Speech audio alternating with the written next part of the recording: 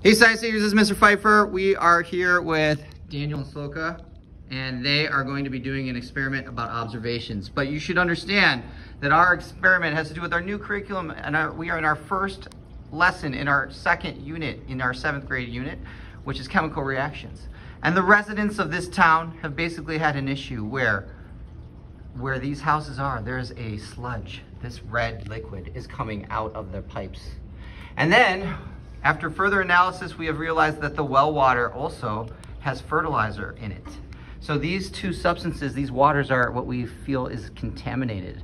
But we don't know exactly what it's contaminated with. So we have taken the waters and the substances and we have taken out the water part, the liquid portion, to make powders and our students are going to make observations. So Sloka, can you tell us what is an observation? So an observation based off of your five senses. Okay, and Daniel, uh, why don't you make a couple observations okay. about the fertilizer? So for this fertilizer, I can observe that it's very white and it's a very fine powder.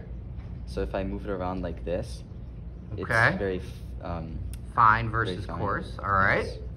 And then. And let's give it a waft. He is properly smelling the chemical. Is there an odor? Not really. Odorless, okay. So, Sloka, one more observation that we've learned, and actually our students realized this through inquiry.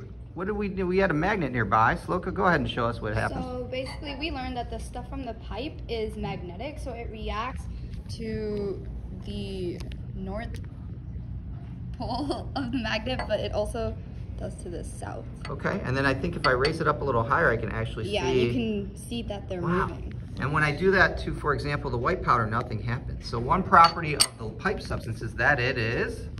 Magnetic. All right, this is Mr. Pfeifer. We'll see you guys. Peace out.